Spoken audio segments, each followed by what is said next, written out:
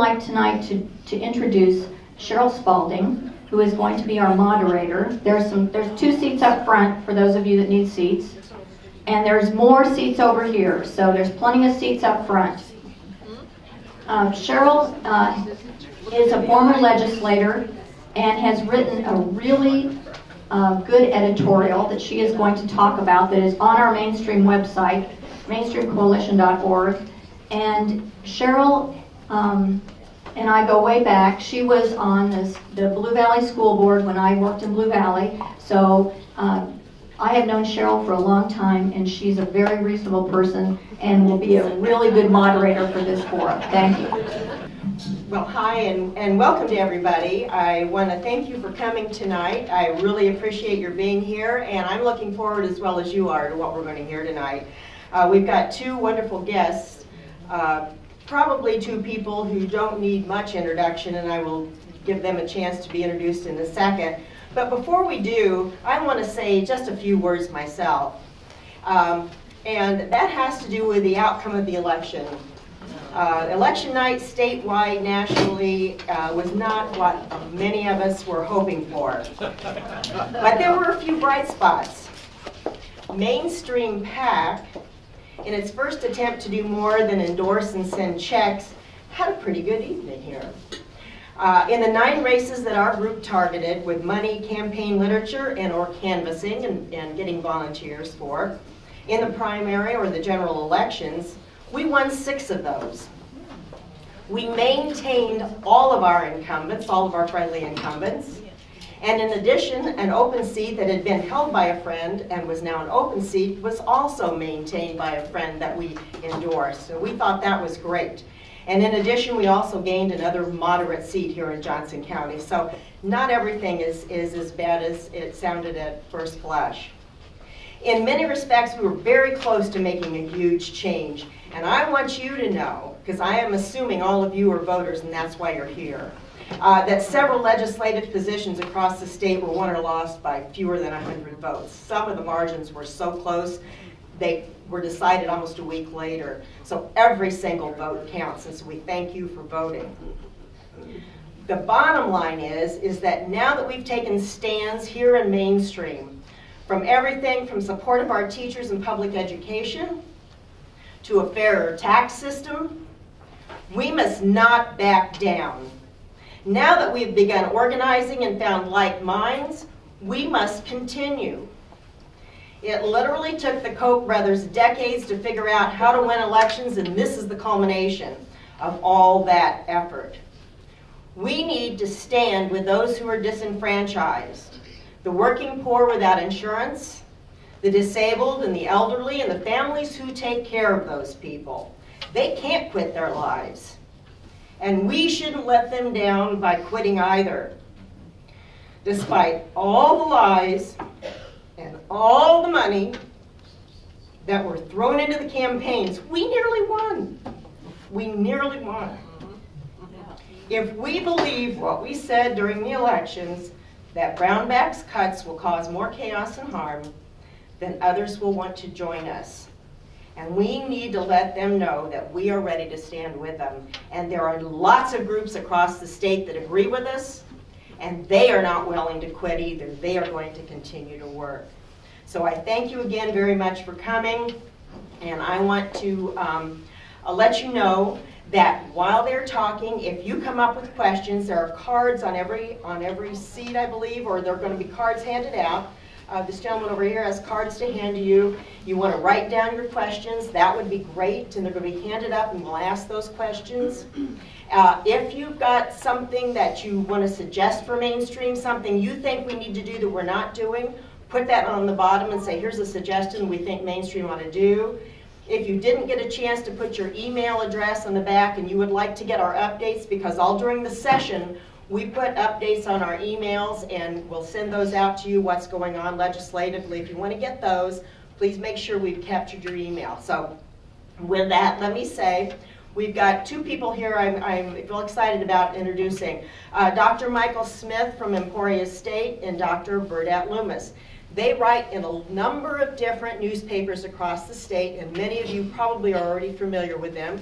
So for a change, I'm going to let them tell you what they want you to know about themselves. And we'll start with Michael, Dr. Michael Smith. Thank you for the introduction. I teach at Emporia State. I teach uh, state and local politics, political philosophy, and, and uh, campaigns and elections. That might be something you might be interested in talking about tonight, and a, a few other things. Um, Lisa emailed us a couple of questions to get us going.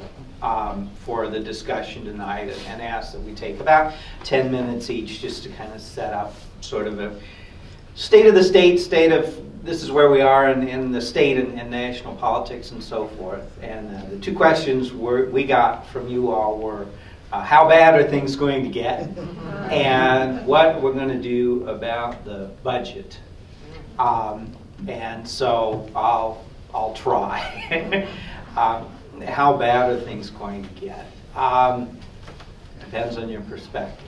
Um, if you just look at the politics of the situation, my recommendation um, is, and first of all, congratulations on, on Mainstream's victories. That's, that's, you know, I, we could see that Mainstream was really getting more politically sophisticated in the last few years and really hit the ground running in this election, was starting to target elections, target races, target voters, and, and obviously it worked for you. Um, but of course, a lot of other candidates that, that mainstream would have liked to have seen win.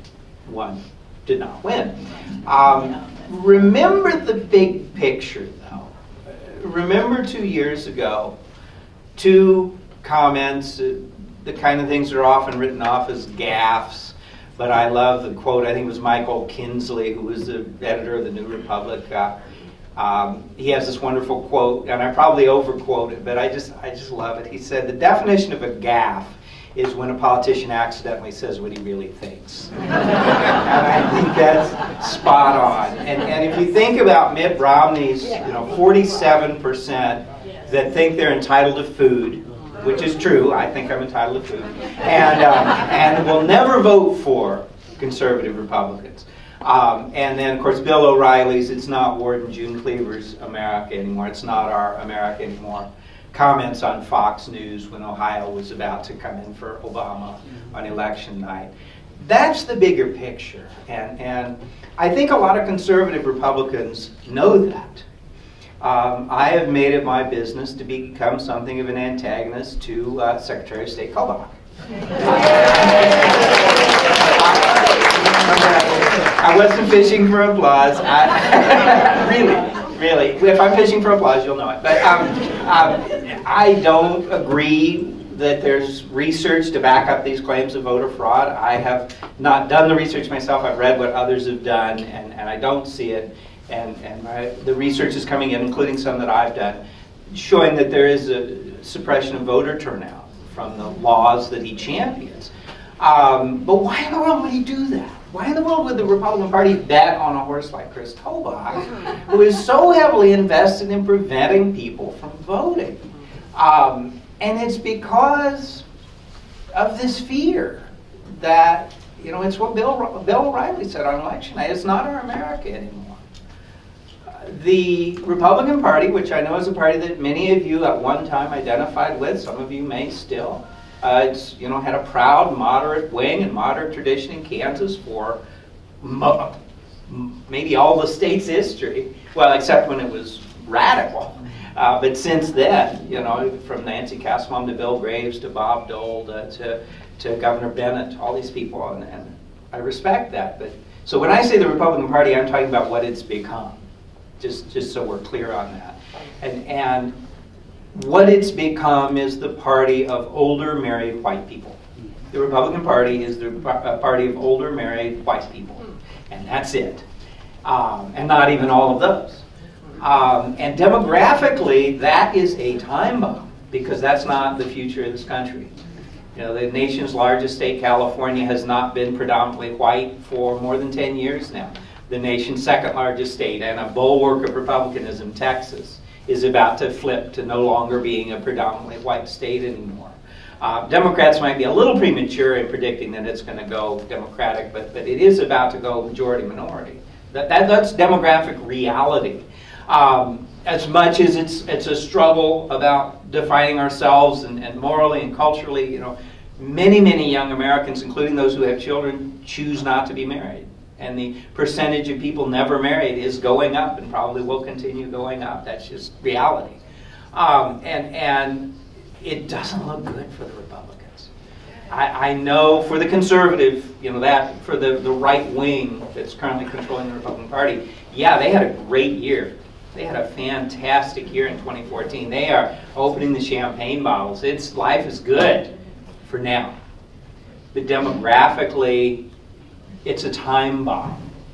Uh, I said at our, our, Dole Institute forum with, with Bird and others uh, that uh, Chris Kobach is a great benefit to the Democratic Party. and I really believe that because he is actively hostile to key blocks of voters that Republicans have to win or they have no chance of holding on to a majority in the future.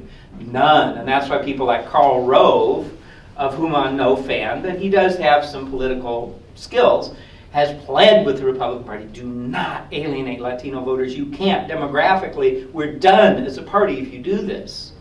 Um, you know, I, I think he and a lot of other Republican strategists that take a longer view were probably grieving on election night that Kobach was was reelected because that's more damage control for them, and they can only do so much damage control.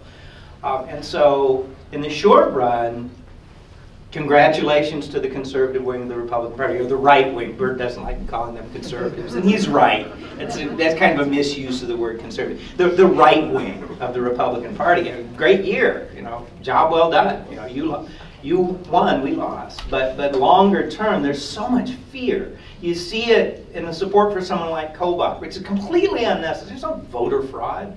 There's, there's almost no documented instances of voter fraud. Completely unnecessary. There are any number of other people they could run for Secretary of State, but pick him, and I imagine he'll run for governor or senate or something. He's an ambitious man.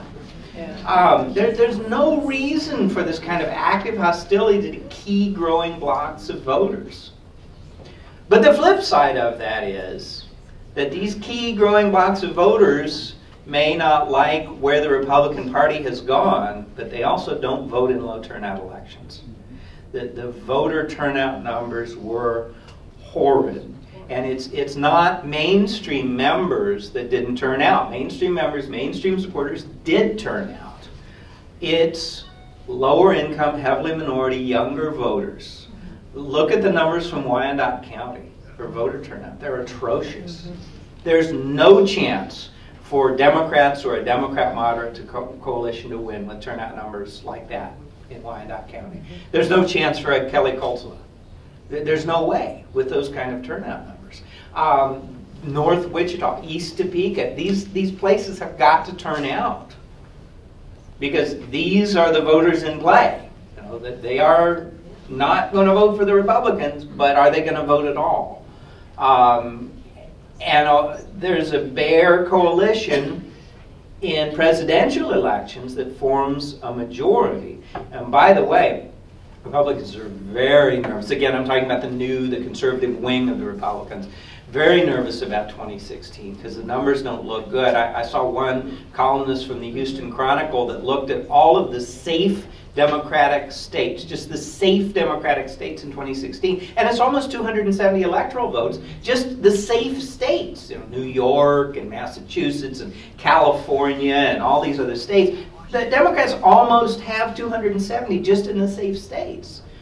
Um, and so, what we're seeing, in my opinion, is a coalition of, of older white people living in rural and ex-urban areas um, that are clinging, hanging on for dear life.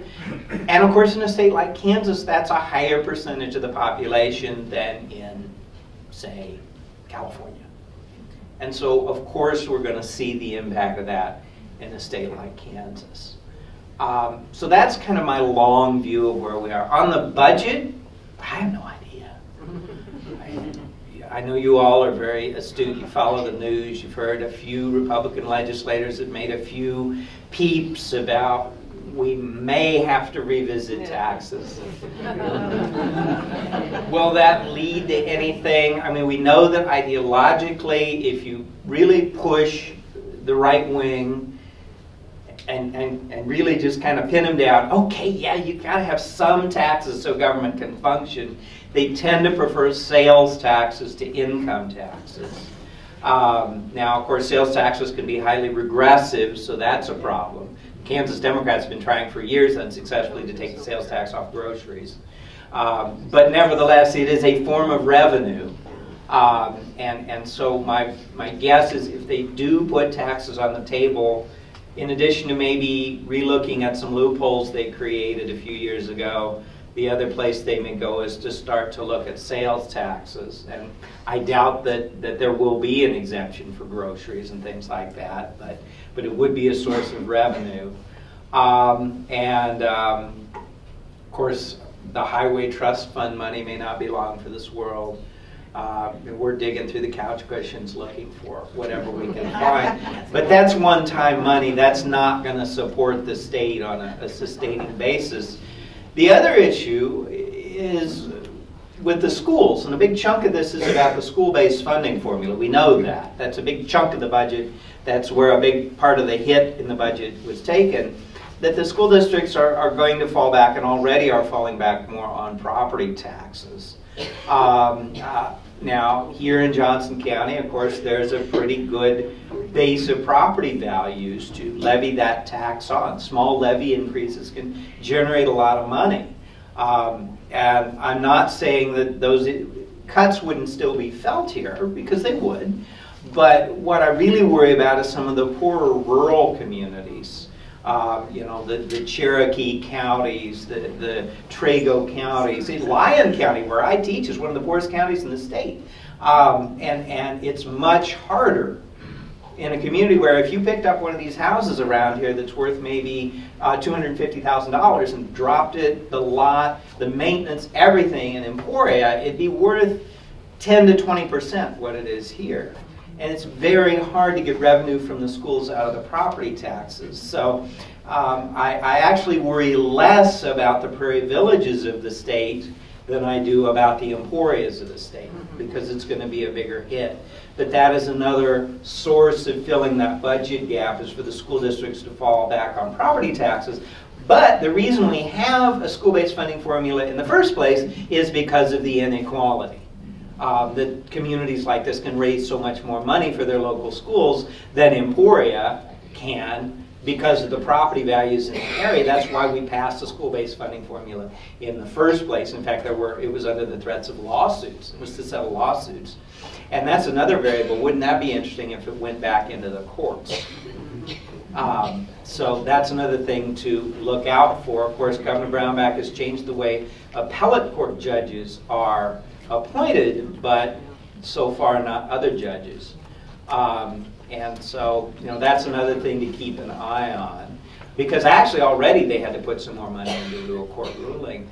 Um, so, you know, maybe, maybe sales taxes. I'm totally speculating. Uh, rating the highway trust fund, uh, and then property taxes to shore up lost revenue locally, but that's very uneven, would be my best guesses, and that's all they are about what's going to happen with the budget. But uh, Bird might have some better ideas, so uh, I think it's about time for him to take it.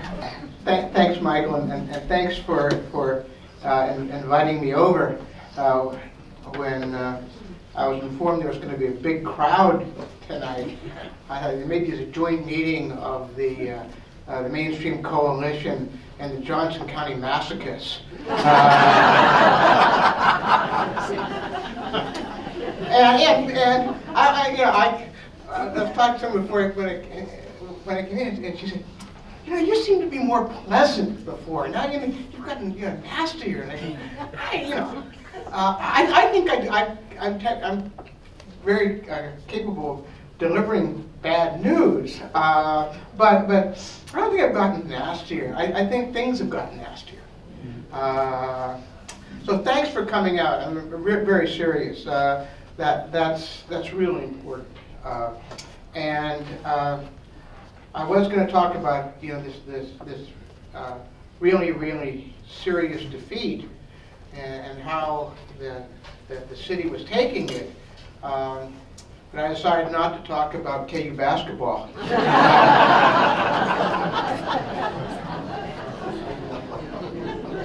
Uh, So, uh, let me talk a little bit about the election and, and and segue a little bit in, in, in- into the, into the budget. Um, I mean, first of all, we know the polls were wrong. They were wrong um, across the country. There was a big Democratic uh, uh, bubble that was that wasn't there. Uh, more so in Kansas than other places, to tell to tell you the truth. Um, I think that some people picked it up. Uh, uh, Republican uh, consultant Jeff Roe has a pollster, and on the day of the camp, uh, day of the election, his pollster and Jeff Roe brings the press in and talks on election day, and his uh, pollster said that Orman was going to win by at least six percentage points, and Roe said, "I'm not. We're not going to publish that. We're not going to. That's crazy." Uh, it looked like a very, very close race, uh, both for Senate uh, and, and, for, and uh, certainly uh, Paul Davis looked like he was, he was, he was favored. So what happened? Um, my overall gross interpretation is that uh, Pat Roberts got into terrific trouble as of the primary. Uh, he clearly was going to have a very difficult time uh, Chad Taylor dropped out, for better or for worse, but dropped out, uh, and a wave of a big wave of Republican money came in that would not have come in otherwise. The Republican Governors Association came in with a lot of money, Chris Christie and, and, and uh, 130 million dollars across the country.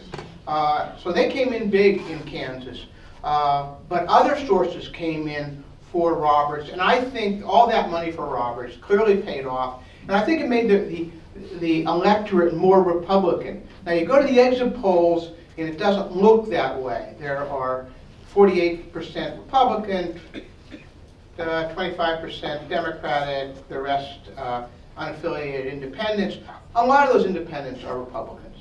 Um, the other thing that happened is uh, Republicans came home. I think those, I, uh, Nancy Lusk gave me her uh, wonderful, I say wonderful in quotes, uh, uh, selection of, of, of uh, flyers that were mailed out against her, one after another, after another, after another. Uh, and, and so uh, it's, this beating, I think uh, you, you see that in commercials, you see it uh, in, in, the, uh, in the flyers, and I really think that drove uh, the electorate back to being uh, more, more Republican than it would have been, say, in September. Um, and ironically, the, the weakest Senate candidate in the country, Pat Roberts, uh, had coattails that helped Sam Brownback win the election. I'm totally convinced of that without, uh, without any, any, any, any question. Um, here's what didn't happen. Paul Davis didn't lose this election. Paul Davis ran a pretty good campaign. Our, our group have some differences about what Paul Davis should or shouldn't have done. Uh, let's be clear, Paul Davis, uh, relative to Obama's performance in 2012, got, uh, was the best performing governor or senator candidate in the country. So he improved his performance over Obama in 2012, better than any governor candidate, gubernatorial, senatorial candidate in the country. That's not a bad campaign. Uh, I don't think he made any serious mistakes. Uh, we can argue whether he could have been more forceful, uh, uh, but uh, this was really a, a, can, a campaign that was judging Sam Brownback. Uh, and even though 50 some percent thought the Brownback policies were going the wrong direction, um, a greater percentage felt that Obama was a problem. So, that, so one of the things that the, the Roberts money did was to nationalize the campaign. To nationalize the campaign, it's, a, it's much more of a hill for Paul Davis uh, to, to, uh, to, to climb. Um, I do think that we got a lot of, a lot of attention on voter restrictions. Uh, they didn't determine the election. Uh, There's often, the- the 22,000 people didn't vote. Uh, uh, Most of those people wouldn't have voted anyway. Uh, uh, that, that those people who, who were in, in limbo, um, and you might have gotten a two or three thousand extra votes if everyone had voted or, or a substantial number had voted. Uh, that wasn't going to change the election. Now, I completely agree with what Michael was saying. As a long-term strategy, voter suppression is really important to, to the uh, Republican Party. Uh, uh, to the extent that it, it can make the electorate smaller and make it more difficult to vote. Absolutely. That didn't, that didn't uh, determine the election this year. Um, Democratic turnout was okay. It wasn't great, it wasn't bad. It was about the same as 2010. Uh, 2010, you know, there, there were hardly any real, real, uh, you know, no statewide, serious statewide races at all in 2010, but there was a huge Republican wave. So, more contested elections, uh, less Republican enthusiasm, um, sort of evened out. Uh, but some of the turnout, as Michael's already mentioned, Wyandotte eh, truly ter- terrible. But even even Douglas County Lawrence uh, uh, didn't turn out the way I think we'd anticipated, uh, and uh, Johnson, Johnson County. I was in the room at, at Paul Davis's um, event, I was going to say celebration, event, uh, and at quarter of nine, things were looking great. At 10 after 9, the, the room was pretty much uh, uh, silent because Johnson County had come in.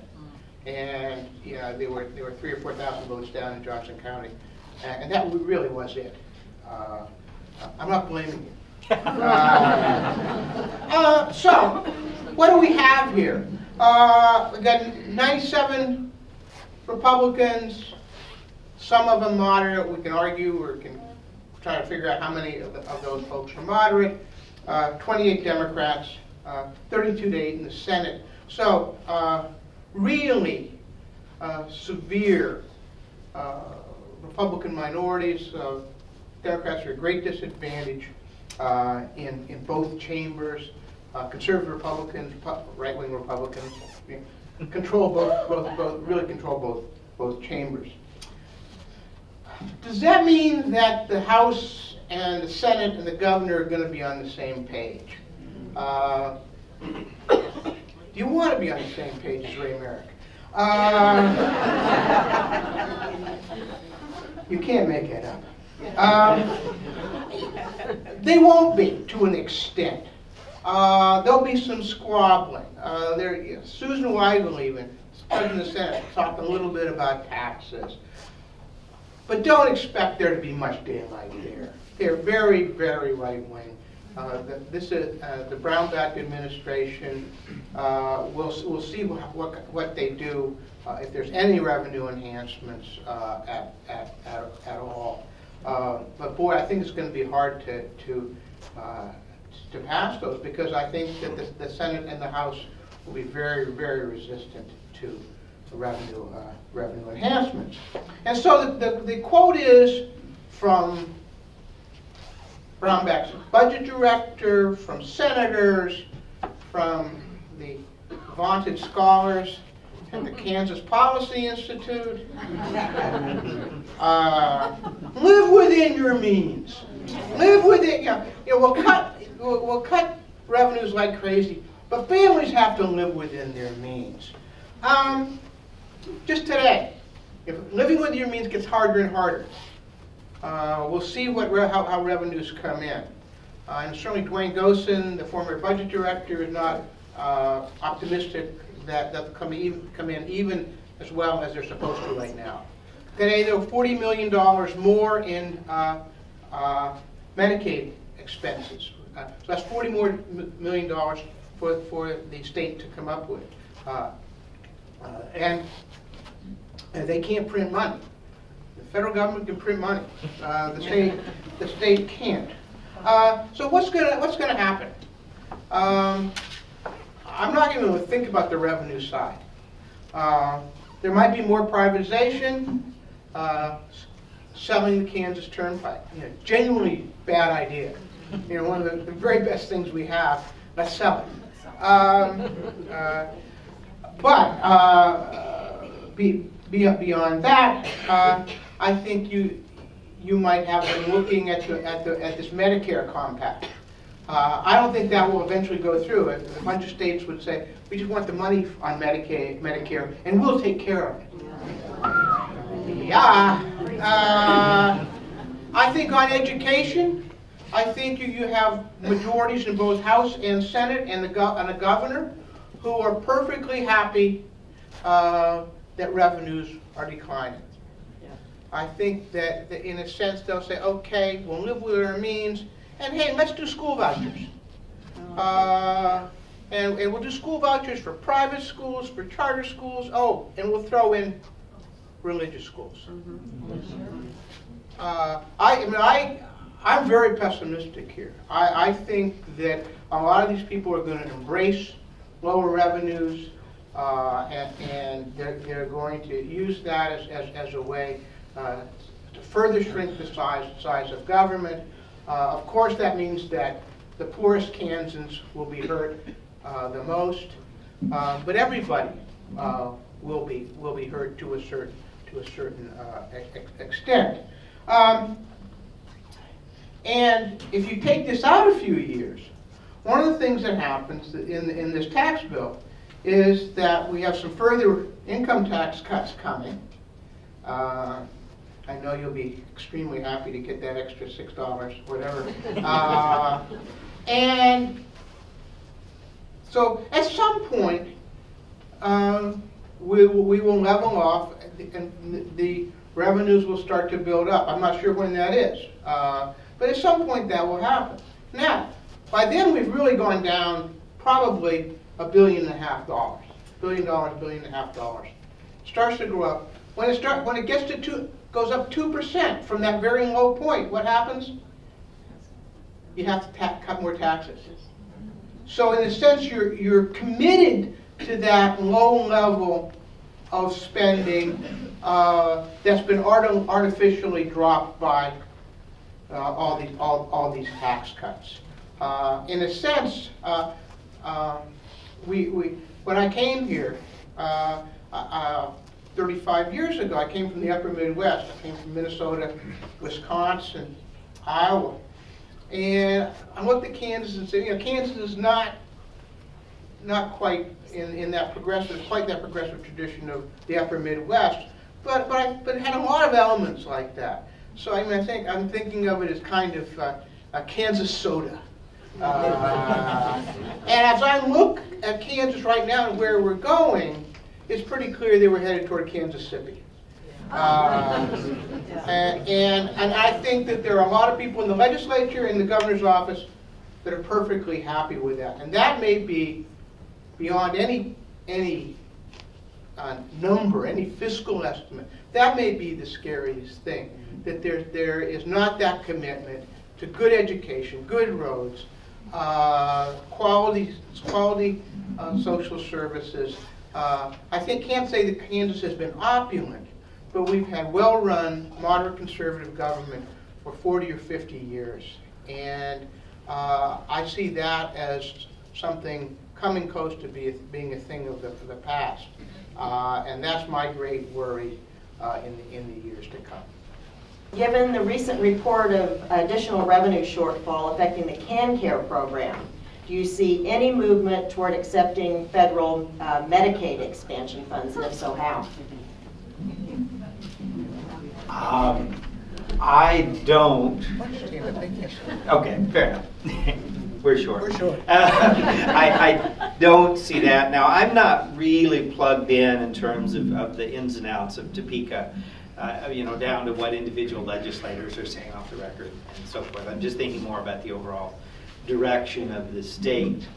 Um, and it is true that some conservative voting states have expanded Medicare and implemented their own Obamacare exchanges instead of their folks going through the federal ones. Kentucky is the classic example, and Kentucky's a really fun one because uh, in Kentucky, uh, the plan has its own name, you know, Kentucky Care or whatever. And if you ask people their public opinion of Kentucky Care, it's much higher than the public opinion is of Obamacare, even though it's the same thing, you know, except one of them doesn't have the word Obama in it. It's, it's two different words for the same program.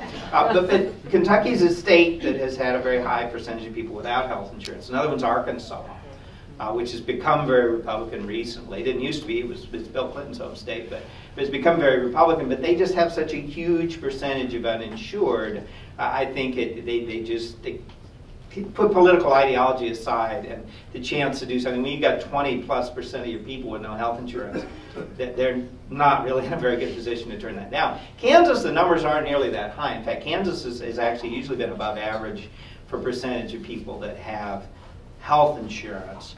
So there's not that much pressure as there is in a Kentucky or an Arkansas. But, so again, it, it reverts back to that conservative ideology.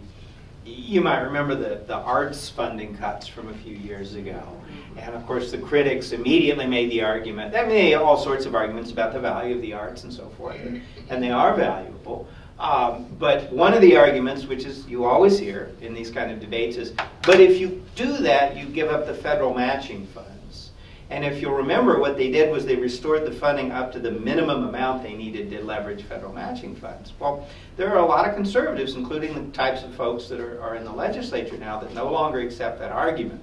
That, that from the conservative ideology perspective, that's just another excuse to grow government that, that conservatives need to start standing up and telling the federal government, keep your money. We don't want to make government bigger. What part of that don't you understand? And, and this is just a trick um, to get us to make government bigger when we were elected to make government smaller.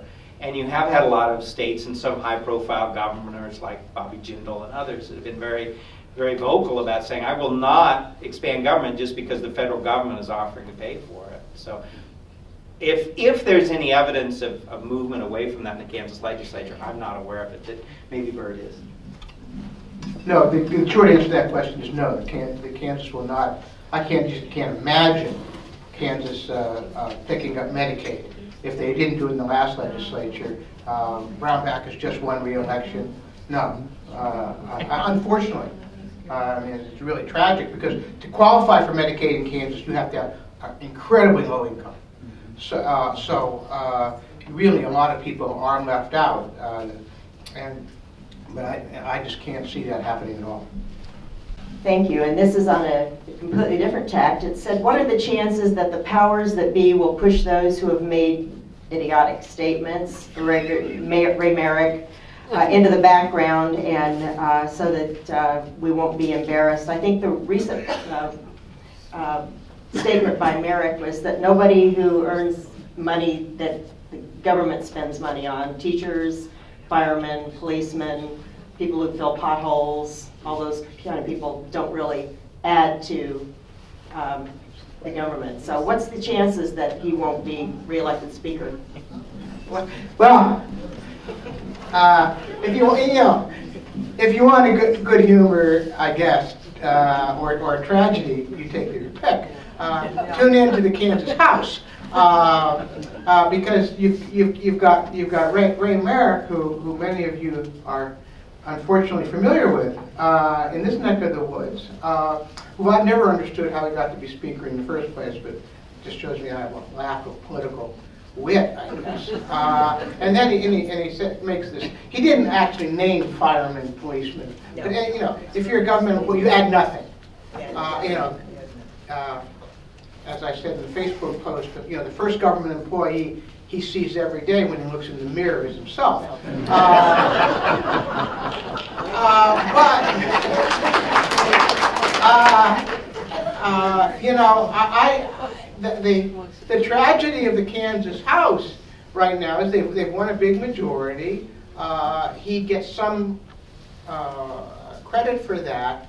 And his only announced opponent right now uh, is, is one of the few legislators who could ma- really make Ray Merrick look good, uh, and that's Virgil Peck, uh, who, who, was you know thinking of shooting illegal aliens uh, from helicopters. Uh, so, I mean, that's where we've gone right now. Uh, you know, and I, I let me let me. I did a Facebook post yesterday morning, and I, you know, it was something off the top of my head, uh, and it got a tremendous amount of comments or whatever, and actually most of them stayed on point, which was really remarkable. Uh, but I, I, simply made the point of uh, that uh, uh, both uh, Nancy Pelosi and Harry Reid uh, probably uh, should should should not run, uh, run for reelection. And I particularly made the point with Pelosi. Uh, Nancy Pelosi's uh, she's 74. Uh, okay, I don't want to be an ageist here, but I, I can see 74 from where I am, all too closely, as a matter of fact. And uh, but the point is that uh, she, uh, after 2008, uh, Nancy Pelosi stayed on le- as, in, as leader after 2010, 2012, 2014. I certainly don't hold her accountable for those losses in particular. Uh, but I do hold her accountable for being the face of the Democratic Party, uh, of being there too long, of not giving people, younger people, uh, a chance. Uh, and you know, if, the, if first of all, if those Republicans, uh, she would have the speaker. If, if, either she would have been replaced or she would have resigned uh, after the 2010 election. That have been gone, and that's that. That should have happened. I was stunned that she that she that she that she uh, ran into to become leader in 2010. Uh, but but uh, we're not a parliamentary democracy. But in some ways, the U.S. House is becoming closer and closer, uh, and, and uh, leadership leaders should be responsible. And so uh, I, I do think it's important. You know, I, I want segue from Ray Merrick to, to Nancy Pelosi. Uh, but I mean, I, I think that that that the, the, the caucus is is is should be accountable. Uh, my guess is for many of those people, Ray Merrick is not their first choice. But you got to have you got to have someone to beat someone. Uh, I think he's been accommodating to the very conservative right wing uh, majority in his, in his caucus, and uh, uh, he'll continue to serve at least you know one more one more term. Good, thank you. And here's another one that's uh, quite different. It said, uh, "Do you anticipate Senator Roberts fulfilling his six years? And if he doesn't, who will replace him?" Well, um, you know, I mean, he'd, he'd be a, a spring chicken compared to a Strom Thurmond or, or a John Stennis or somebody like that. Uh, but uh, it's, it's not that unusual to have senators in their, in their 80s. Um, I don't know anything about his personal health, although I will say that, that not only modern day politics, but politics even in the past, if there is a health problem and an opponent gets a hold of it, they will leak it. Uh, they might hide it that they were the ones that leaked it, but if there was something we needed to know about the senator's health, we probably would know. Um, his primary opponent was a doctor, but uh, and, and so I guess but the answer is yeah, I think he will, barring any unforeseen circumstances. Um, and um, um, as far as the Senate. Um, uh, who will be now? I mean, six years is an eternity in politics. You know, just less than four years before Barack Obama was elected president, he was an Illinois state senator. Um, so, so predicting politics more than a year or two out. I think we can do very immediate short-term predictions, like who will be the Speaker of the House, Ray Merrick, or, or we can do very, very long-term predictions, like you know how's the country changing demographically and how will that affect politics. But it's the intermediate term gets a little weird. Um, as I say, um, I've, I'm particularly interested in, in uh, in Mr. Kobach, and I definitely think he's quite ambitious. Now, whether he wants to be governor, senator, I don't know, but I don't think he wants to just uh, be Secretary of State indefinitely. Uh, and so that's one to watch, but beyond that, I wouldn't want to speculate. Yeah, I, I, I, agree, I agree. I think that if, if Pat Roberts holds up, that, that he'll, he will stay for six years. Uh, I mean, let's face it, uh, from, from my perspective, the reason that Pat Roberts ran this year was so, so he could be, have, for six more years, he could be Senator Pat Roberts. I really saw no other reason, uh, and he certainly gave none during the campaign, except he would cast a vote against Harry Reid. Okay? Well, that, yeah, that's been sewed up now. So, uh, uh, know, so, and I think it's really hard to speculate uh, ab- ab- about about uh, you know the you know future office holding stuff like that. All I would say right now, if you look across Kansas, uh, Democrat, Republicans have any number, we might not agree with it, uh, with their politics, but, but they have any number of people very capable of running a statewide race. From, from Kevin Yoder, uh, Mike Pompeo in the, in the House. I think Jenkins will probably stay there in the leadership, not Huelskamp. Uh, uh, nobody talks about Derek Schmidt. Derek Schmidt was majority leader in the Senate, uh, has won two terms as uh, Attorney General, uh, arguably after the governor, the most important uh, elected position in, in the state. Uh, so you've got, and, and obviously you've got Chris Kobach, who you know is is uh, say he's ambitious is you know understatement of the of, of the year. But but it's not like other people aren't ambitious. So and I think if you look at the Democrats, I mean you just go who. I mean it, it, it's it's really it's really hard to to see where someone's uh, you know gonna gonna gonna pop up and, and be a, a really effective statewide candidate. Uh, so.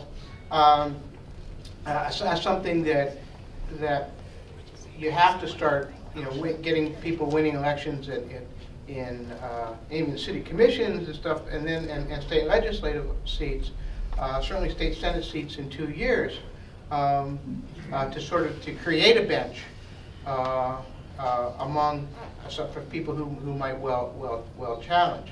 So, in, to use Michael's intermediate term notion, very hard to see Democrats quickly rising back, back up. I attend the uh, Moore Squared Banquet every year, and if you've not heard of that group, it's a it's a faith-based social justice group here in Kansas City. They have a banquet every year, and they, they have these big name featured speakers, and they had uh, Reverend James Barber this year, who organized what they call Moral Mondays in North Carolina, and it's not the Moral Mondays of the religious right that they might hold. Uh, maybe they have a different day of the week. Maybe they have Friday. I don't know. But the Moral Mondays are to bring attention to poverty, to bring attention to voter disenfranchisement. This is in North Carolina. He works in North Carolina, um, and so forth. And he's a very charismatic speaker, and, and he made a point that just really stuck with me. Uh, he said Democrats rely on Messiah candidates. And again, this is from a man of faith who's, who's saying this. Uh, and actually, he's United Church of Christ, which is this church right here, also happens to my own affiliation. But he said, you know, Democrats count on these Messiah candidates. This candidate is going to lead us to the promised land. Um, and I totally agree with that. Kathleen Sebelius, right? She everyone loved Kathleen Sebelius. She was wonderful. Um, but then she left the state, and, and then what? Oh, uh-oh. Yeah. Uh, we, we, we only had, we bet all our money on one horse. And now she's off in Washington, D.C., or she was at that time. Um, you know, Paul Davis was you know, very well loved by Democrats, so much so that it actually created problems for other Democratic candidates trying to raise money because everybody was giving all their money to Paul Davis. And you had Jean Schodorf and some of these other candidates that, that didn't raise money until late. And a lot of it came in from out of state. Uh, because Paul Davis, everybody was betting on the Paul Davis horse. And he was a good candidate and he did well, but he, he didn't win the election. And, and if Democrats, um, and, and I don't even know how moderates within the Republican Party fit, but somehow there's a role there too. But on the Democratic side, if, if they don't start building their infrastructure so that they can, for example, turn out voters in midterm elections, and so that they have a farm team of candidates that are running for city council, city commission, state rep, um, things like this, down ballot state executive races, you know, this treasurer and things like that. If, if they don't have that, and it, it keeps being this messiah candidate kind of phenomenon, I, I think that that Democrats will be slower to capture the emerging majority than than if they think more in terms of infrastructure and not just in terms of swooning over a Kathleen Sebelius or a Paul Davis. I, I, I would, I, I gotta say, that's the first time I've ever heard Paul Davis referred to as a messiah.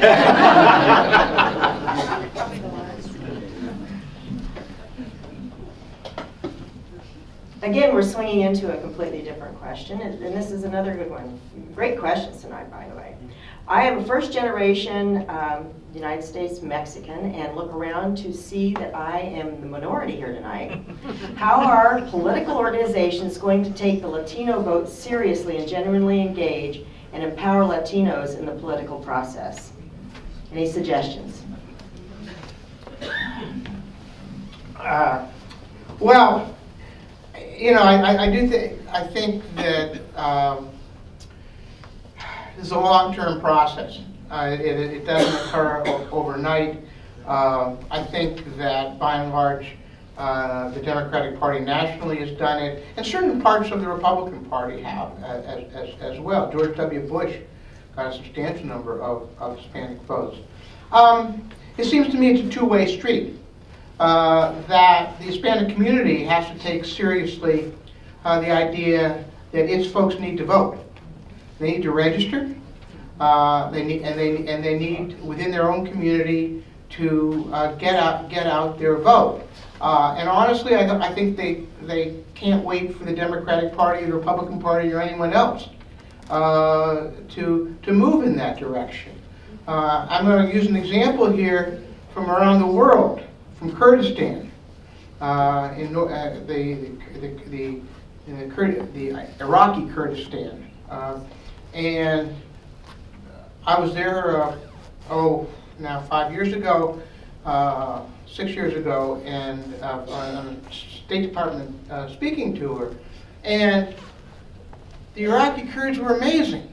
Uh, they sought out foreign investment. They, they there had been a no-fly zone, so so Saddam could not uh, really get at them. And they built up their infrastructure.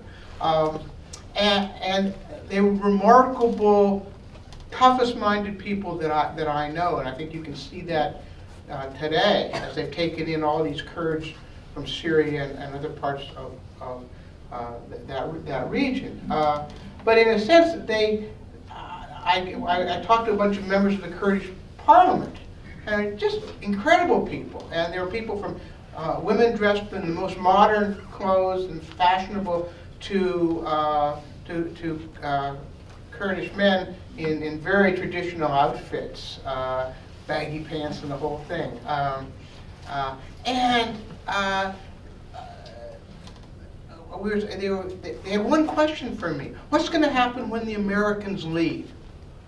What's going to happen when the Americans leave? And I said, look around. You've built an incredible society. You've got outside investment. You're building universities. It was safe in Kurdistan. I never had a worry uh, uh, safety-wise in, in, in Kurdistan. Yeah, you have done this. Well, in a sense, I, I honestly think that uh, the Latino community, uh, in a lot of ways, in, in a sense, is, is responsible. Uh, don't wait for the Democrats. I mean, Democrats hired a, a, an organizer this year, a really good one. Uh, a lot of time out in Garden City in the southwest corner of the state. But don't wait for them. I mean, you're going to have a voice, have a voice. Get registered, get people to the polls. Uh, you do that, the uh, Democrats will notice you, everyone will notice you as, as, a, as, as, as, a, as a force. Uh, and so, in a sense, you know, wait, waiting for the Democrats, waiting for someone to come and, and organize you uh, doesn't make sense. What makes sense is uh, organizing yourselves. Did you want to say? Um, I, I think that's well said. Um, Emporia is a really good example. This is a community where 52% of the enrollment in the local schools is Latino. Um, but uh, there is not one single Latino member of the city commission. Um, and, and the Latino vote in this community is, is not really a factor in the elections yet. Uh, for example, Speaker Pro Tem Peggy Mast, whose district includes part of Emporia, she had a real race this time. But again, there wasn't really a sense that the Latino vote was, was a big factor in, in this competitive race. And Bird mentioned Garden City, a Liberal is another one. It's very, very rapidly changing. But, but I, having talked to political candidates who have run in Emporia, I think there's a real sense that there's a really tight knit community within the Latino community in Emporia, and I'm sure Liberal Garden City, other places. Um, that there's a really tight knit sense you can count on each other and they have each other's backs, and, and there's a lot of friendship and community and celebration and, and shared faith. Um, but there's not that sense of connecting with the larger community, with the rest of Emporia or Lyon County or Kansas. And that includes voting, unfortunately. And, um, you know, It's like that 1950s song about the the fellow that had the summertime blues, and he called his congressman. He said, "I'd like to help you, but you're too young to vote." Um, it's just not realistic to think that you're going to get responsiveness if you don't vote. And we make it hard. And it's not just Kobach. We make it hard in this country. We have many more elections. We have primaries. We have local elections in weird times like April that, you know, 10, 20% of registered voters even show up. We have, uh, we have midterms. We have all these elections that a lot of other democracies don't fool with. And so it isn't easy. Um, but um, there's really no way other than, than somehow developing a culture of voting that, that's going to change that. What was the percent of vote anyway in this state of registered voters, do we know? Right about fifty percent, I think. About fifty Right about percent. 50. So about half the people who are registered to vote didn't vote. Yeah, yeah, and then, of course, not everyone's registered. Not everybody's registered. Okay, the next group of questions, there are several here about the judges' situation. Um, First one, um, is it likely that Brownback will be able to successfully redo the Supreme Court nomination process? And what is that process? And uh, what did you see, you see as the way forward? Well, that's a different one. What- I, th- I think it's one of the biggest agenda items uh, for the the legislature th- this coming session will be taking a real run at uh, a constitutional amendment to uh, change the, the the Supreme, the Supreme Court. You need two-thirds majority in each chamber to amend the Constitution, and it goes to a vote. Um, The the Brownback administration's argument is that the, the current uh, uh, nominating, nominating committee, you get three nominees, and the governor picks one of those nominees, uh, uh, is, it produces liberals. Uh, I mean, to be, to be short. And and I think their definition of liberal is anyone who, who, uh, who votes as a judge uh, against what I want. Uh, And, and, and, and, and, and so, so that's why uh, the number of Democrats plus the number of moderate Republicans is, is so important. I think that you, uh, if there aren't 42 uh, to, to, to get to over one-third of the state legislature, uh, I, and I think it's really close, then I, then I think that there's a good chance that the Senate will do it in a heartbeat.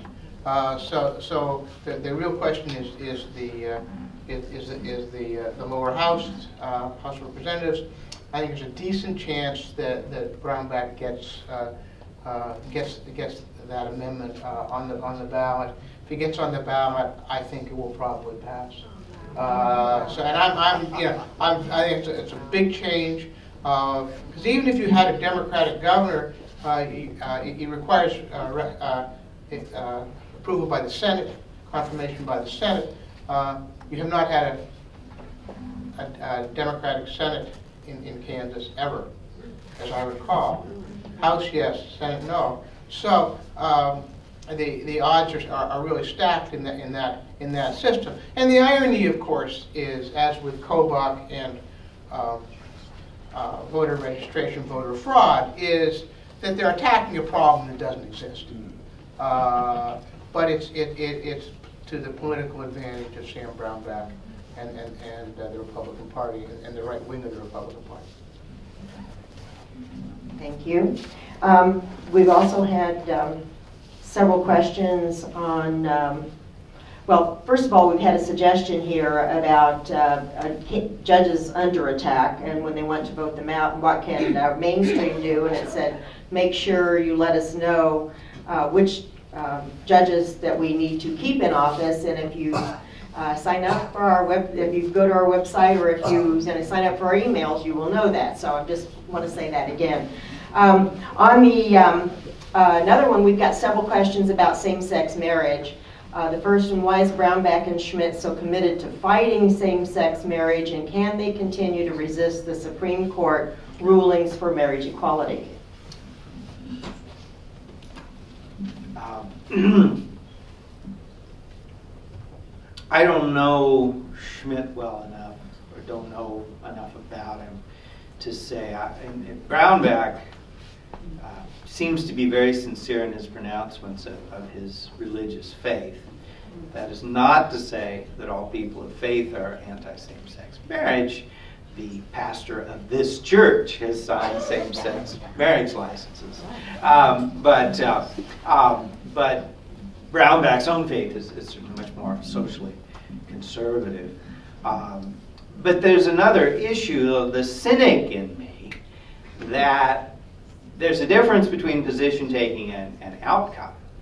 So it may be that Brown, I don't know, but it may be that Brownback or Schmidt or both uh, are saying, look, it looks like there's going to be the court ruling in favor of same-sex marriage. We've already got counties. Uh, some other counties are now issuing licenses. Lyon County issued its first license yesterday, so it's not just Douglas and Johnson counties anymore. Um, and uh, it's going to happen, but what positions do I need to take to, to shore up my electoral electoral base. It's, it's kind of fun to watch the games over in Missouri where it's a little bit closer vote, where you've got the um, um, Attorney General Koster, who is an ex-Republican, now a Democrat that wants to run for governor, um, that almost really cut a deal with the city of St. Louis. Hey, you all issue some same-sex marriage licenses, and I'll sue you. uh, and then we'll get this thrown into the courts, and the courts will probably rule in your favor, but then I'll be on record as opposing it. You know, so it's it's not really so much I'm against same-sex marriage as I want to be on record as being against same-sex marriage. Uh, and, and it may be that there's some of those same kind of considerations in Kansas of there's one issue is what are the courts going to do another issue is what position taking do i want to do in order to shore up the base i need to win to win the primary and the election. Now what brownback's political plans are at this point i don't know but i think i agree with bert i think schmidt's very politically ambitious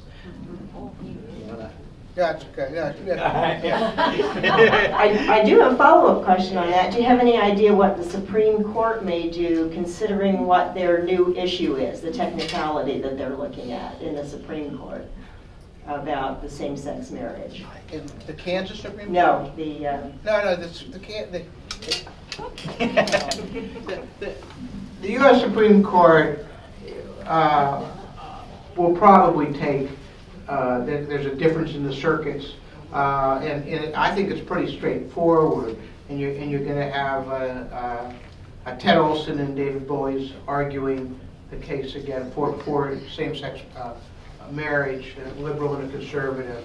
Uh, The technicality, I think you're talking about the Supreme Court, is uh, the Affordable Health Care Act, where, where you have uh, uh, a phrasing where it looks like uh, state exchanges could not accept subsidies. And I, I would simply say that uh, you have, for years and years and years, uh, conservative Republicans talked about activist judges. Uh, You now have the most activist Supreme Court in my lifetime, and my lifetime includes uh, the, uh, the Warren Court uh, with Brown versus Board of Education uh, and, and uh, uh, Roe v. Wade, uh, both of which were activist decisions in probably in a way I agreed with. Roe v. Wade might not have been timely, but that's another matter. But, but uh, uh, this, this, this court is, has chosen with Citizens United, with Bu- Bush v. Gore, uh, and now with, with the, the affordable health care case, what, Hodig, Hodig, something like that. If, it, uh, if they decide it, we'll, we'll all know the name. Um, but uh, they, they did not have to take this case at all, uh, or they didn't have to take it, it, it, it grab onto it, and, and, and they have. Now, what they'll do with it, I don't know. Justice Roberts clearly, you know, was the swing vote to, to keep to uh, decide that the the, the, uh, the Affordable Health Care Act was constitutional. Does he come back and, and be the fifth vote again? I just, I just, I just don't know. But what I do know is this is, a, is you know, one more instance of, of really overreaching uh, activism on, on the Supreme Court. do you have time for more questions? Just a few, okay. Um, Let's see. Oh, here's a, here's a fun one. Uh, do you think pot will be legalized in Kansas to help fill the hole Brownback has blasted in the budget?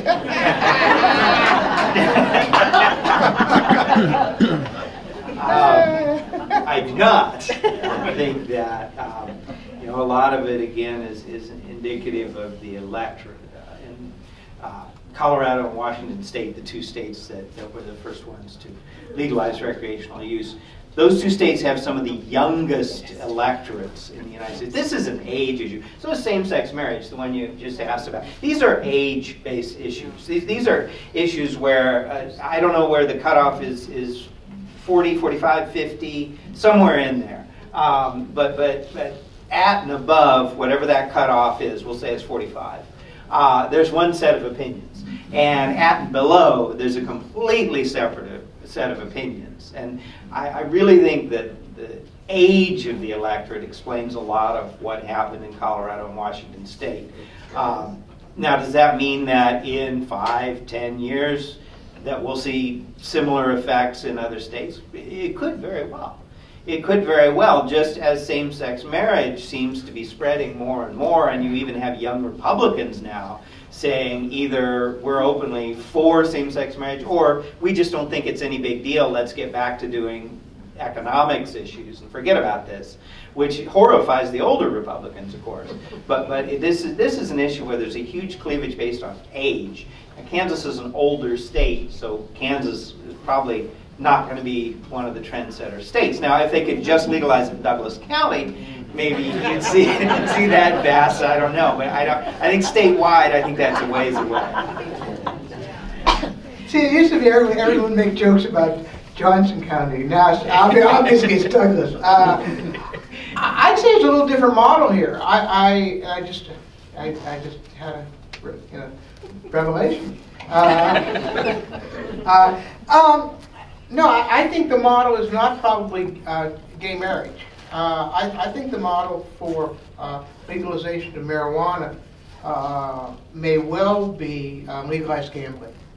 Uh, and now think about Kansas. I came here in 1979. Couldn't buy a drink. I mean, you know, you're probably easier to buy pot than it was to drink, uh, at least in Lawrence. Uh, and, and, you know, you, you, had, you had a change in the liquor laws, you had gam- gambling came, in first, uh, Indian, Indian casinos, then, then, state-owned casinos, uh, in a state that, you know, is, is historically, you know, pretty morally conservative. Uh, the rev- but they are certainly revenue enhancers. Uh, it also, uh, and I think one reason you could do this in, in a Republican state is that there, with, uh, with, with marijuana, not only is it it the uh, enhan the enticement of, of revenue, uh, but it also there's there's a, a, a bit of a no not a bit there's a a fair amount of a libertarian element to it, and and, and I do think that you might find some very conservative uh, right-wing Republicans just sort of shrugging their shoulders. Uh, well, there's a revenue source. It happens anyway. You know, uh, why not? I mean, it's, less government. We won't enforce. Uh, and honestly, it'll be a boon to keeping people out of prison. So, you know, I, I, I, would say that, that it's, it's, lot, it's more like legalized gambling than, than, than, than same-sex marriage. And, and. That's right. And, and, and, and uh, one of the things that happens with gay marriage is we really start to find out that, uh, oh, so-and-so is gay, or his son is gay, or whatever.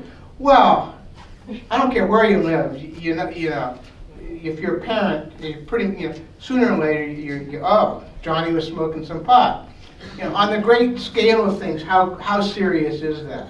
Um, you know, maybe, you know, not as serious as, as, as as you might, as you might think. So you, we've all had experiences uh, with that to, to, to an, to an extent. And uh, I think that kind of familiarity along with the revenue potential is possible.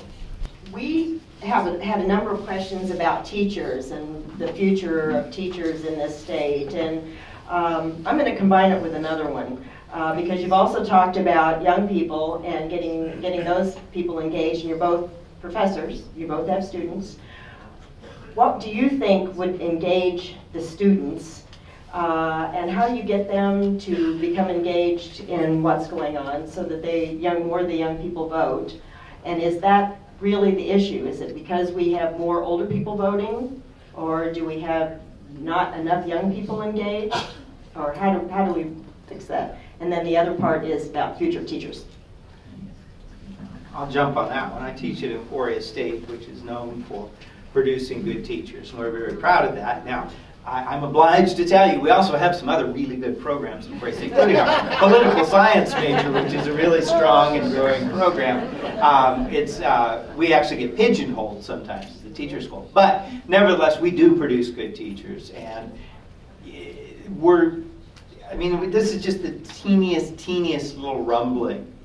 Um, but but we're starting to get some students mentioned to us, you know, I'm thinking about moving to another state after I get my teaching certificate. Colorado's looking really good right now. Um, um, I would say for the first time in my lifetime, and I'm a Kansas City native, um, I would say a, a prospective young teacher would be better off in Missouri. Um, and I never thought I would say that. I'm a proud Missouri native, but I never really thought we'd be saying go go east, young man, or go east, young woman, for a better teaching job in Missouri. But but I would say right now you'd be better off to to cross the state line. Um, again, a lot of it depends on what the community is. Uh, Johnson County will step up. Raise your own property taxes. I don't even want to think about how much you're paying in property taxes, but but the schools will make it. Um, but what's going to happen in Emporia? What's going to happen in, in Cherokee County? What's going to happen in Fort Scott? What's going to happen in Garden City? That's what I'm really worried about because they don't have the property tax base. And, and I'm not going to say that there's this wave of young future teachers at Emporia State or anywhere else that are, are packing. But, but we are starting to hear some of our higher performing students start to say, you know, kind of thinking about maybe going to another state. Is there reciprocity of teaching certification? What would I have to do to get certified in another state? These folks are not necessarily committed to living the rest of their lives in the state of Kansas. Uh, and so that's one thing to think about. Now, you asked about young voters. Uh, it reminds me in 2010, which was an election with an outcome a lot like 2014, um, I was asking a student, happened to be a Democrat, and I, he said, You know, I'm just I'm so outraged, I'm going to vote, I'm going to vote Democratic. I said, well, do you think most of your friends are going to vote Democratic in the midterms? And he said, Professor Smith, I don't think most of my friends know that there are midterm elections. yeah. uh, you know, we can't overestimate the political sophistication of people that don't sort of follow politics as a career or a hobby. Um, even be an awareness of the, the fact that there are midterms, when they are, procedures for voting, which are more complicated thanks to Mr. Kobach, uh, um, the uh, importance of them, what offices are on the ballot. Um, we're not actually there yet. We're not there with lower income voters, and we're not there with younger voters. I mean, just, just the basic fundamental things like members of the U.S. House are all reelected every two years, or the difference between the state legislature and Congress. Um, we're not there we're not there. Of course, our political science majors uh, could could give this lecture just as well or better than we can, but but with a lot of other students, it's it's still we're still working uphill. Yeah.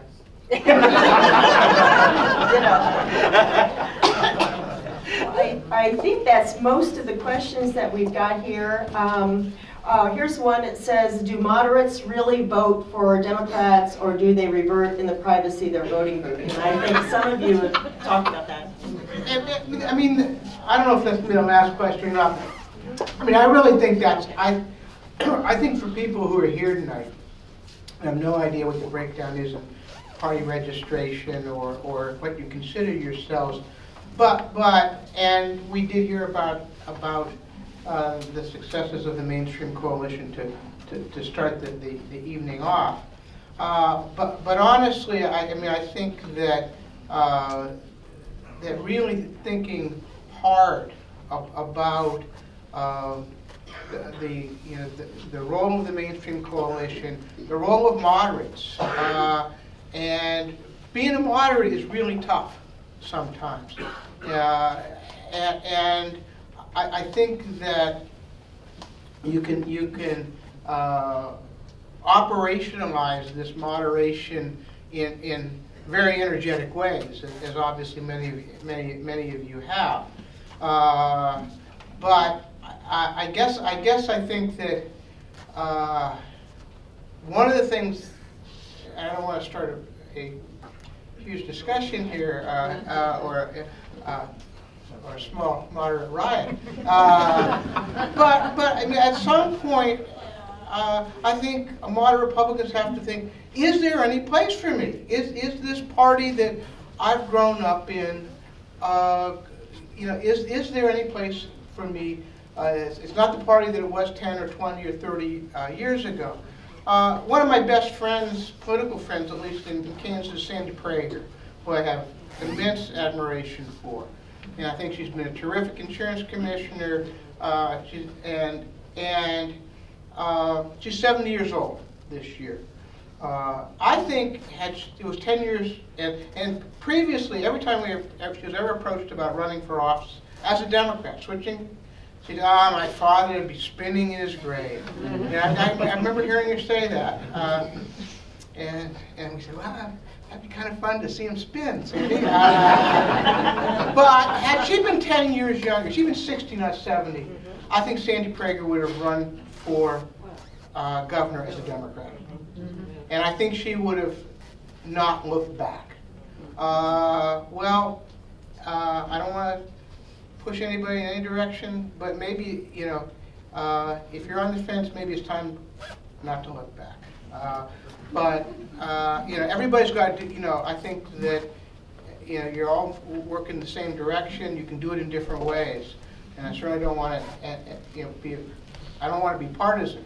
Uh, But, but I do think logistically, uh, tactically, uh, you know, I, I think that uh, the, the whole thing of, of the Republican Party moving farther and farther right is, uh, it is, I think that is where the Republican Party is in Kansas and where it's going to stay for, for a very long time. Thank you. Um, Brings me a lot of age references tonight, and uh, um, if you really want to feel old, uh, think about this. In the next couple of years, we will have students in college that never lived in the 20th century. Uh, Just, uh, just uh, four, four more years. Uh, So, uh, you know, that, wow. Thank you. You know, but, and so I was, I was given this uh, lecture today in state and local government class, and it just sort of hit me. I said, do you, I bet you all, talking to the students, probably you have never heard of this. You probably think I'm crazy. But 30 years ago, no one would think you were crazy if you talked about a conservative Democrat or a liberal Republican. Know, you'd have a, a John Lindsay, the mayor of New York City, was a liberal Republican. Of course, the Rockefellers, everybody knows about Rockefeller Republican. It wasn't considered weird. A whole bunch of New Englanders, you know, liberal Republicans, certainly lots of moderates as well, um, and, and even probably some Kansans. I mean, Governor, I'd say Governor Bennett, certainly by today's standards, would be considered pretty liberal. Uh, he was a proud Republican, and of course, you had this huge. Um, conservative Democrat base in the South, all the, the solid South, southern states, very conservative Democrats.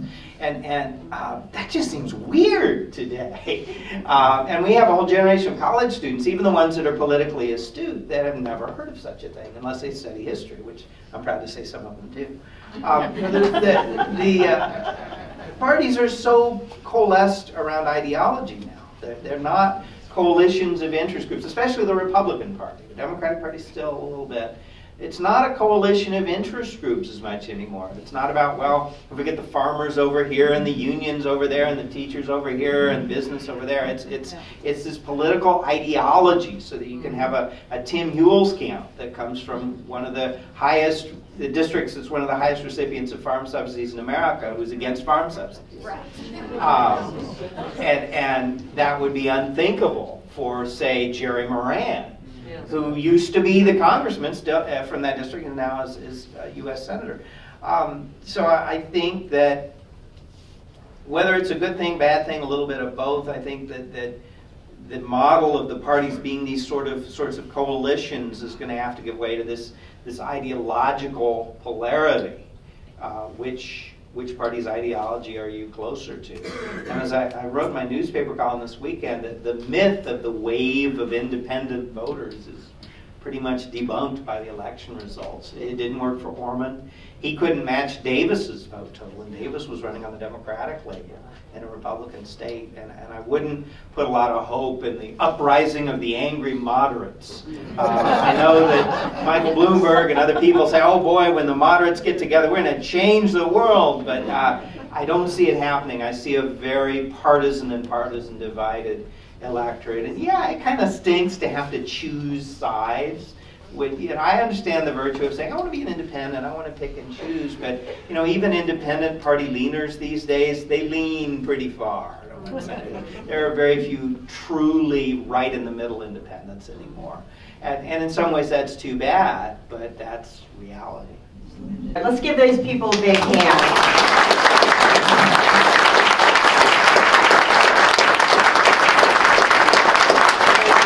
Thank you both so much. And now I want to introduce the um, uh, Brandy Fisher, who's the Executive Director of Mainstream. Brandy?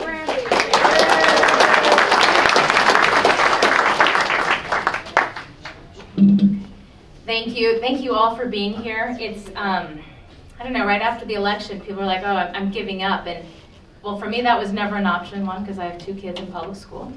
And uh, two, because uh, all my friends, all the friends in this room, the partner organizations we work with, that was never an option for them. So I see the emails coming out from our you know, friends at the league or um, Women for Kansas and Game On, and everyone is right in the game, and it's because uh, because we have a lot worth fighting for. And uh, you know, uh, when you said, you know, I don't know who you all are. I mean, truthfully, if you ask a uh, a strong moderate Republican in the room here, they'll probably tell you this room's full of Democrats. But if you ask a, a strong Democrat in the room, they'll say, oh, mainstream's all moderate Republicans. so um, I, I, think we're doing something right, and I'm holding out for the moderate riot. So, so